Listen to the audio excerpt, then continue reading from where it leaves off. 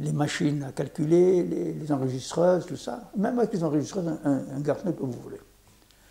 Donc, euh, je ne voyais pas, tant que de 56 à 57, je ne voyais pas l'argent entrer. J'avais acheté tout à crédit, il fallait que je rembourse. Et dès que ma femme est arrivée, qui est restée à la caisse, c'est comme on dit, en espagnol, on dit lojo del caballo. C'est une non, lojo del amo. Ça veut dire, avec l'œil du patron, c'est une gordo le caballo. Ça veut dire le, cheval est grossi. ça, c'est un proverbe espagnol. Ce qui veut dire que l'œil du patron, ça fait tout. Et comme ça, j'ai réussi. On a réussi, on a eu quatre enfants magnifiques. Vous avez eu votre premier enfant quand? Hein? Le premier enfant est arrivé quand? Et De suite après. Ah c'est Rachel, la et, et comment est-ce que vous avez. C'est la, la, dame qui m'avait contacté? C'est ah, oui. Euh, euh, comment est-ce que vous avez réconcilié ce travail euh, harassant avec. Ma femme, elle, ma femme, elle partait avec sa valise ah directement à la clinique seule pour accoucher. Mais quand le gosse est là par après hein ou, le, maître de la gosse dans tout cela eh ben, ben, L'appartement était en haut. Ah oui. et donc elle allait tantôt au-dessus, tantôt en bas, elle, circulait tout le temps. Alors première fille, deuxième fille, troisième fille. écoute, si tu ne fais pas un garçon, j'avais une autre femme à la maison. Elle m'a fait le garçon avec qui elle téléphonait tout à l'heure. Ah d'accord. Alors comme toute mère juive, quand on, appelle son fils, elle dit son fils. Fils, avec un. Ah mon, fils adore sa mère. Hein. Il ne il peut pas aller se coucher sans venir embrasser sa mère. D'ailleurs, c'est lui qui téléphone. Hein. Ah, c'est parce qu'il est le plus choyé, parce que le plus attendu. Les trois filles n'étaient ben, pas un peu jalouses. Et puis en plus, je vous dis, la mère juive. Ah ah, la, mère, juive, c'est le garçon. Les filles, euh, bon, les filles. Hmm. Et puis voilà, donc 56, 57 je me marie, 67, la guerre des six jours. Je m'occupais de la communauté, moi.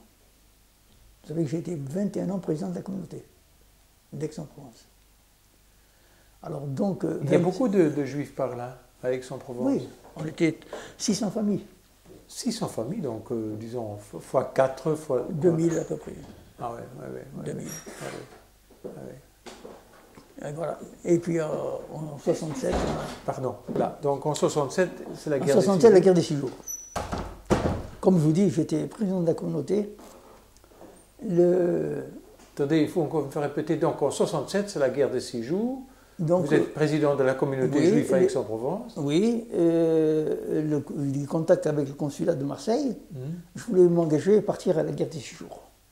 Le consul général de Marseille m'a dit non, monsieur Samoul, vous êtes plus nécessaire ici à Aix qu'à la guerre des six jours. Vous ne savez pas que pendant la guerre des six jours, j'avais dans mon établissement, qui était un établissement que très peu de juifs fréquentaient, hmm. les juifs qui revenaient chez moi, c'était pour me demander ou une intervention à la mairie, ou un conseil, ou ils avaient un, mort, parce que j'ai, hmm. quand même j'étais président de la Khayba Kadisha, j'ai pris la suite de mon père. Hmm. Dernier devoir. Et ils n'avaient pas. J'avais mis une corbeille à la caisse, le poste radio, et les, qui donnait les événements d'Israël. Hmm. Et tous les clients qui rentraient, ils écoutaient et ils mettaient quelque chose dans le, les. Hein. C'est incroyable ce que j'ai ramassé de l'argent. Pour vous dire le, vraiment l'élan que les Français avaient vis-à-vis d'Israël. Hmm ils étaient tous pro-israéliens, disons. Hmm. Ils étaient tous contents qu'Israël avait gagné la guerre des six jours. Hmm. Et c'était lent, et on n'a pas su le conserver. Et ça s'est effrité au fil des années. Et ce qui veut, dire, que, la France est devenue plutôt comme la Belgique pro-arabe, pratiquement. Hmm, Les Arabes, il n'y en avait pas beaucoup avec ça. Quand je suis arrivé en, France, moi, quand, j'avais mon établissement, il y avait trois familles arabes. Il y avait trois... Trois familles arabes seulement. Ah oui. Maintenant, vous allez à Aix, comme vous allez à Marseille, comme vous allez à Bruxelles. L'immigration a suivi. Incroyable. Donc on a 67, la guerre des six jours, de suite après, voyage de noces. Dix ans après. Dix ans après. Je donne mon établissement à un copain, je dis tant pis, on part. Ma femme et moi, on est partis au voyage. Et où? En Israël. Ah, oui, d'accord. De 67 à maintenant, je fais pratiquement une moyenne de deux à trois voyages tous les ans en Israël. Hmm. Pourquoi euh, Est-ce que vous avez pensé à un certain moment d'émigrer en Israël? Oui, moi oui. De suite, je voulais émigrer en Israël. Ma femme n'a pas voulu. Ah. Ma femme, elle me dit euh, Tu es fou, je viens d'arriver d'Algérie, je ne vais pas encore retourner recommencer à zéro là-bas. Ça s'est déraciné chaque fois. Mais moi, j'étais sioniste à fond, je voulais repartir. Je voulais partir. J'ai eu des affaires en Israël magnifiques que j'ai jamais. Une, une, seule histoire que je vous raconte à la, à la, rue Gordon. Vous connaissez Tel Aviv? Non. Rue Gordon, c'est une rue qui part de la, de, de la mer oui. Et qui arrive à la municipalité. Hmm. Il y avait un petit hôtel, trois étages, mur et fond, mur et tout l'ensemble. D'après vous, combien? En 67 125 000 dollars. C'est beaucoup ça, hein? 125 000 dollars. Ah, c'était 127 000 125 000 dollars. 127 C'était c'est bouché de pain. Des murs de trois étages d'un immeuble. Ah oui, d'accord, d'accord, d'accord. Oui. je ne connais pas le, niveau de prix à ce moment-là. Ah, et puis moi, euh, moi, vous savez, j'avais, euh, tout à l'heure, j'ai oublié de vous dire que dans mon établissement, il y avait une pizzeria aussi. Mhm. Et vous savez que pour construire une pizzeria euh, au feu de bois, l'important dans la pizzeria au feu de bois, c'est la cheminée. Ah oui, faut qu'il y ait un petit. La cheminée.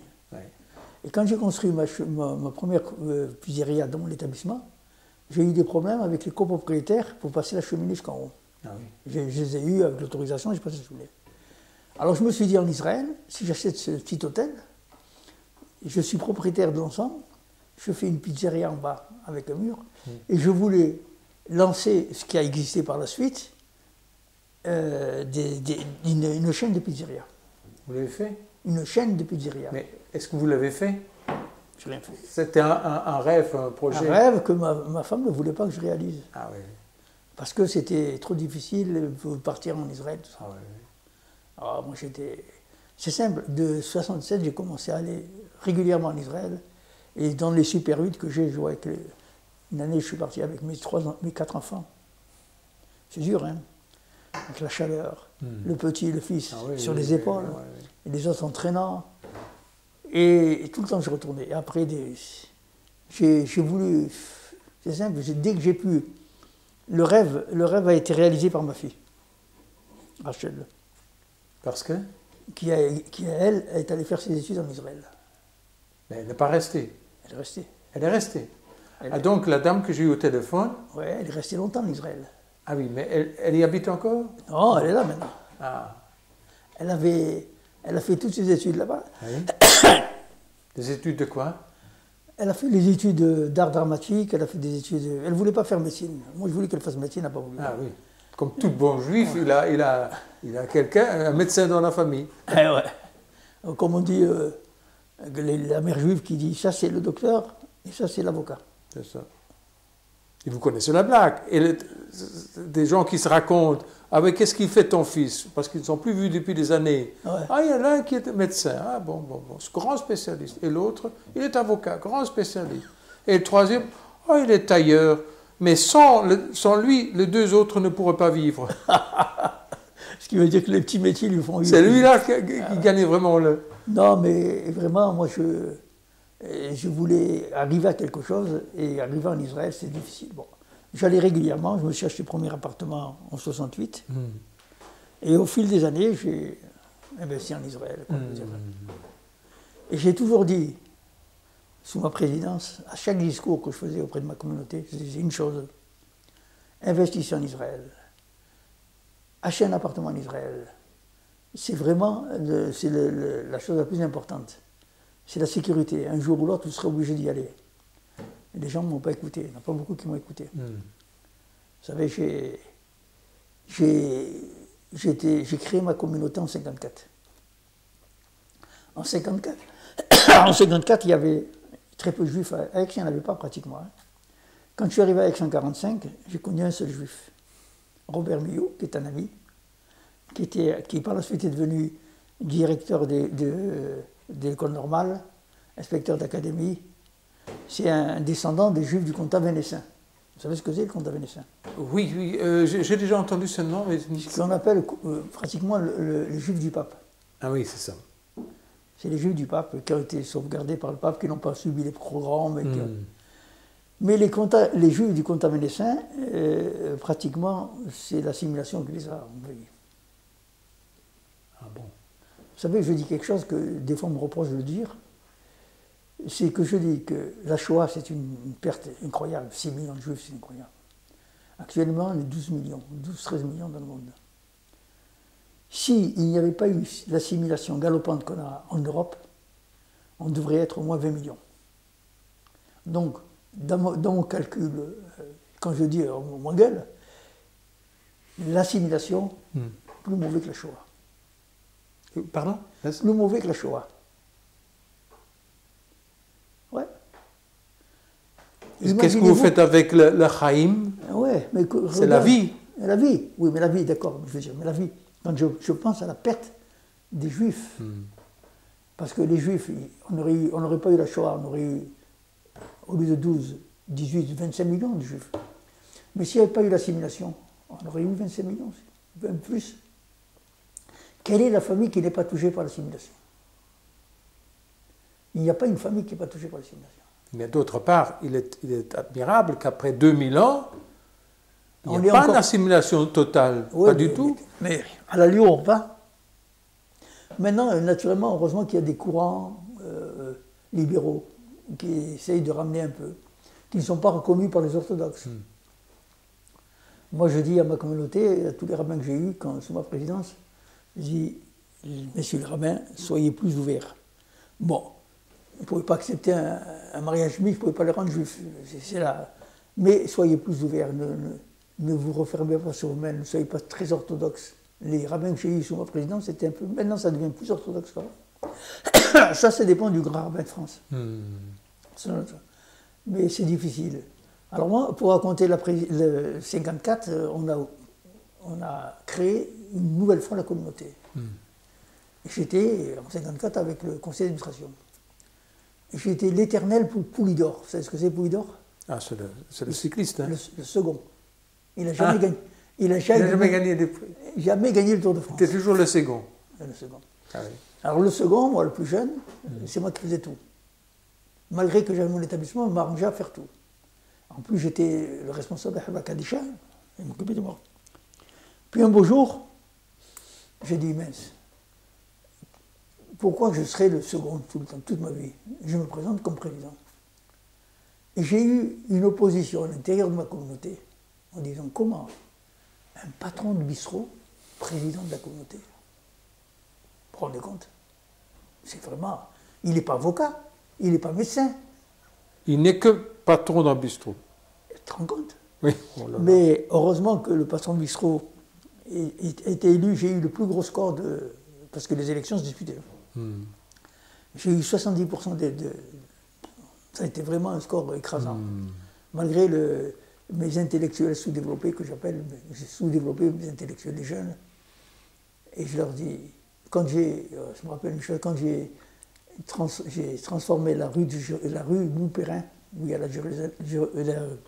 la, synagogue actuelle, rue Montperrin, c'était pas loin de, l'hôpital Montperrin, qui est l'hôpital psychiatrique. Hmm. Je l'ai transformé en rue de Jérusalem.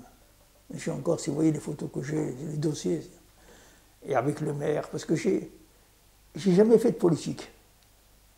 Donc j'avais mes accès à toutes les tendances, tous les premiers magistrats de la ville de, toutes les tendances. Et d'ailleurs, je les ai tous reçus chez moi, parce que j'ai quand même, je suis bien logé et tout. Et donc, il y, a, il y, avait, on a fait une inauguration de cette rue magnifique d'ailleurs, la grande avenue d'Aix-en-Provence, mhm. pendant un jour, on l'a transformée comme rue de Jérusalem.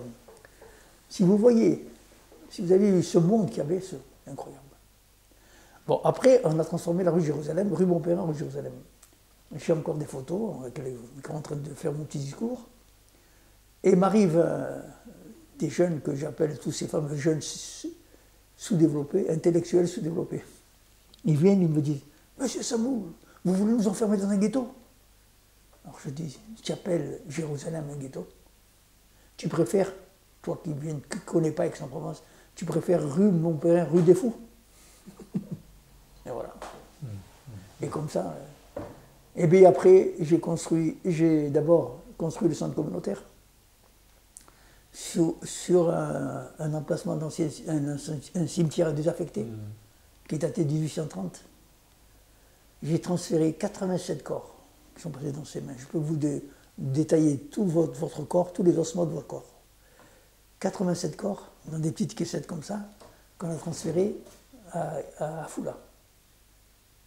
Parce qu'on avait le droit de construire une synagogue. Le Beddin de Paris nous a dit si vous voulez construire une synagogue, il faut approprier le terrain. Ce qui veut dire exhumer tous les corps et ne pas les laisser en, en France, mais les envoyer en Israël. On a envoyé tous ces corps en Israël. Et encore, d'autres corps ont dû être. euh, Parce qu'il y avait la, la voie ferrée qui a passé à côté, la voie, le PLM, quand il y a eu la création du PLM, tout ça. Et c'était un cimetière. Après, je me suis toujours dit, la synagogue est trop petite. Il faut qu'on construise une synagogue. J'ai réussi à acheter le terrain adjacent. J'avais acheté déjà notre terrain ailleurs et pour construire une synagogue, on m'avait dit que c'était trop, excentré. J'ai fait un échange avec la municipalité, avec une somme de 100 000 francs, ce ça-là. J'ai changé le, le terrain que j'avais acheté avant, c'est. Et c'est un terrain magnifique. J'ai construit une synagogue de 300 places, sans compter les places, 120 places de femmes. Et le di- je rentre à Aix euh, plus tôt que prévu. Je rentre euh, mardi 13. Le 18, on fait l'inauguration des 10 ans de, la construction de la synagogue. On avait fait une inauguration en grande pompe. J'ai d'ailleurs une, une VHS que j'ai transformée en DVD. Et on, les, on va, on va peut-être l'écourter parce qu'elle est très longue. Et le, le- le 18, le 18 on, on fera une inauguration, on fera la projection de ce film. Qu'est-ce qui vous, vous est resté de vos racines euh, algériennes? Mes racines algériennes, euh, j'aurais voulu retourner un jour en Algérie, je suis retourné qu'une seule fois, et non pas dans mon patelin. J'y suis retourné il y a une vingtaine d'années. Et à la demande de- d'un ami qui était les plus grands bijoutiers d'Alger, et qui me disait, le copain me dit, Fredou, tu pourrais venir avec nous Je dis, pourquoi? Parce qu'on voudrait, compte tenu de mes connaissances en, en exhumation, il m'a dit, on voudrait, on voudrait transférer les corps de son oncle et de son frère d'Alger, ici, en Israël. Vous savez qu'on n'a pas le droit d'exhumer d'un pays arabe un corps directement en Israël. Il faut qu'il passe par un pays européen. Donc moi j'ai fait une, une, une certificat d'inhumation à Aix, sans, sans inhumer, et exhumation à Aix sur Israël. J'ai été à Alger, on a été reçus, il y a 20 21 ans à peu près, comme des rois. Franchement, vraiment, il y avait... Et moi je ne connaissais pas tellement Alger, hein, parce que je suis d'autres départements, mais on a été reçus par ces, par ces Arabes. Vous savez que les, dans l'hôtellerie, en Algérie, le personnel hôtelier, ce sont des fonctionnaires. Des garçons fonctionnaires. On a, on était dans le plus grand hôtel d'Alger, qui a été construit après la départ des Français, on appelle l'hôtel Horaci, qui a été construit par des architectes d'Europe centrale. Et les Arabes, d'un autre côté, ils ne pouvaient pas les voir. hein. Ils me disaient, pourquoi vous êtes partis, vous devriez rester avec nous. vous? Et donc on a fait les exhumations de ces deux corps. Et il y en avait un qui avait été tué par, son, par le- les événements. Et en exhumant, j'ai retrouvé le- la balle dans son corps. Il y en a transféré. C'est depuis que j'ai plus été en Algérie. J'ai j'ai des, des gens, j'ai des, vous savez qu'à Aix, on a le- les archives d'outre-mer. qui veut dire que tous les archives d'outre-mer concernant, concernant les Français, vous les trouvez à Aix, sur l'ordinateur. Et il y a des groupes de pieds noirs qui viennent euh, aux archives. Moi, mon fils a un établissement en face des archives. Un établissement où il fait, ça s'appelle Europia. Il fait des mariages, il fait une très grande salle de sport que j'ai construite moi. hein. Et ces pieds noirs, ils me disent toujours, ils, ils organisent deux voyages tous les ans. Un voyage à Alger, un voyage à Oran. Mais c'est une croisière, qui veut dire que les, les passagers ne descendent pas à terre. Ils restent sur le bateau, ils descendent à terre juste pour faire des visites, ils remontent, ils ne dorment pas. Alors chaque fois, il me demande, ah, vous venez pas avec nous? Hmm. Dis-moi, ça ne m'intéresse pas. Peut-être qu'un jour, il y, a, il y a quelques années de ça, un arabe venant de là-bas, que je connaissais, il me dit, tu sais, la cave de ton père, il y a toujours marqué cave Ben Samoun, en gros. Parce que le nom que je vous disais tout à l'heure, hmm. mon père s'appelle, a changé de nom en 1897, hmm. mais tout le monde continue à appeler Monsieur Ben Samoun. C'est resté, c'était hmm. vraiment, voilà, l'Algérie. Et on avait une très grosse communauté en Algérie. dans l'ensemble, pour en finir, c'est les, les, Arabes euh, n'ont pas été très mauvais avec les Juifs. Bien. Est-ce que les, chrétiens ont été très mauvais avec les juifs? Les chrétiens, les, croisades, des trucs. Ah, ça commence très tôt. Ce qu'ils ont tué comme juifs, c'est incroyable. Quand on regardait le, film, là, ils n'ont pas tout dit, vous savez, le, reportage qu'il y avait sur Arte. Mais oui, les cinq. Euh, les, cinq ah. euh, les juifs euh, du comtat vénétien. Bon, ça, c'est les juifs de, de, les, séfarades d'Espagne, là, hmm. d'Isabelle la catholique. Là. Ah Il fallait ou se convertir, ah ou se sauver ou mourir. Est-ce que qu'on peut voir maintenant les photos? Oui. Donc ça c'est le mariage de vos parents. Mes parents. Il y a, il y a la même comme ça? Voilà, on voit votre mère, oui. Votre mère est beaucoup plus jeune que votre père. Ah oui, ils, ils avaient quand même, euh, non, 83, 77, 6 ans. Ah, voilà. 6 ans d'écart. Voilà. Donc ça, ce sont vos, parents, là, oui. Alors, une photo intéressante. Et ça, c'est les parents de, de, de, ma femme. Ah oui.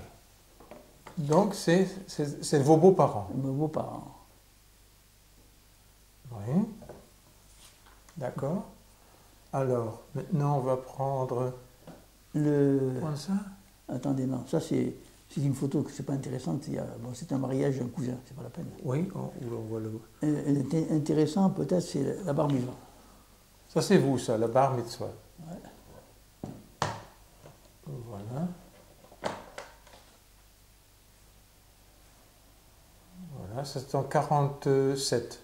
Non, attendez, attendez, qu'est-ce que je dis? En, 30, euh, en 37. En 37. non, non, 39. Non, 40. 40. Ah oui, 13 ans, oui, excusez-moi. 40. Alors là, c'est la, la, photo de ma bar mitzvah devant la porte de la synagogue.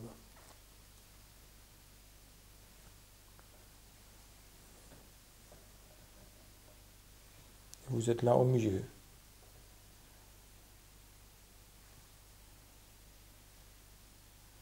Voilà. Oui. Alors là, il y a une photo intéressante à mettre, c'est celle-là. Alors là, vous voyez, je suis. C'est toute la famille, mais moi, on me voit très peu. J'arrive pas. Là, ça, c'est ma mère, et ça, je suis à côté. Ça, c'est mon père. Attendez, Alors là, c'est. Là, ici, donc, si j'ai bien compris, ça, c'est votre, ça, c'est votre mère ici. Voilà, et, euh, tout à fait. vous êtes là, à, ah, côté d'elle En bas, ouais. Oui. Et votre père est là. là. Et tout le reste, c'est la famille. Alors ça, c'est au Rav de Tlemcen. On allait pèleriner mhm. le Rav de Tlemcen. Le Rav de Tlemcen, c'est le Rav Nkawa qui, a été, qui s'est sauvé d'Espagne à Lyon. Mhm. Et il est enterré à Tlemcen, à côté de...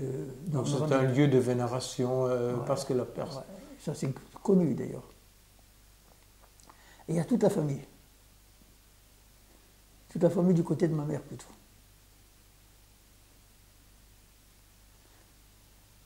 Et là, ce qu'on faisait, ce que les, les, adultes faisaient, ils mettaient de la nisette sur la tombe avec du sucre ah qui était plein d'abeilles. Et ils buvaient ça sur le truc. Et jamais une abeille venait vous piquer. Allez. Voilà. Oui. Ben, le reste, c'est pas la peine, c'est des, si, ça, tantes. Ça, c'est qui ça? Non, ça, c'est ma, tante euh, qui est morte, Marie. Elle s'est mariée, elle s'est mariée au Maroc. Ah mais on peut la voir, si vous voulez. La tante Marie? Voilà, ça c'est votre tante Marie. Côté... Euh, mon père, mon père.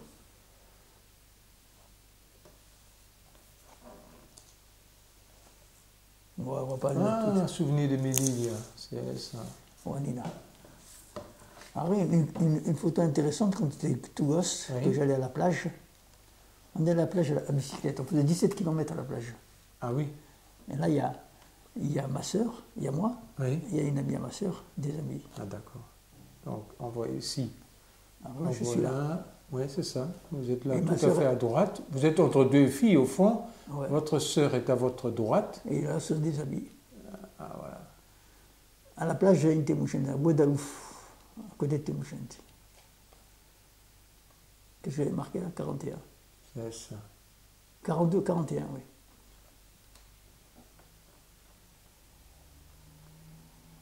C'est vous ça. Je vais régler ça un peu. Voilà, ça c'est vous deux, votre sœur et vous.